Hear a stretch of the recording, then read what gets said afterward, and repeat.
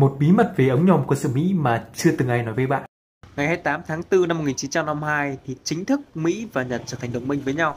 Và ở thời điểm này nhận thấy sự phát triển vượt bậc của ngành công nghiệp ống kính Nhật Bản thì nhà máy sản xuất ống nhòm Nikon được biết đã sản xuất và phân phối cho Hải quân và quân đội Mỹ. Nikon 7X50 TIF-HP là sản phẩm điển hình trong số đó.